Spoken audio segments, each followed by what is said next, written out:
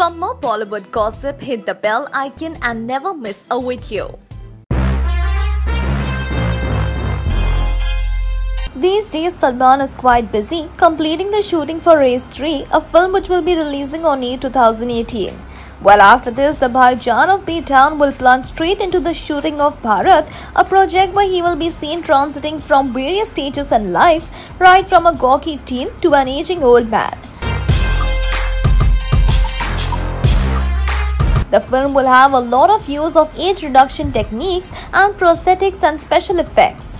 And Salman himself is quite excited about this project. Well, we hear that the location of this film will be London, which is quite cold these days. Filmmaker Ali Abbas Zafar, who will helm this project, recently shared a picture of London with the caption, It's freezing cold here.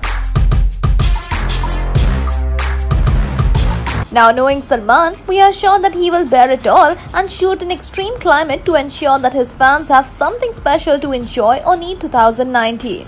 So are you excited hearing about this? Do let us know by commenting in the section below.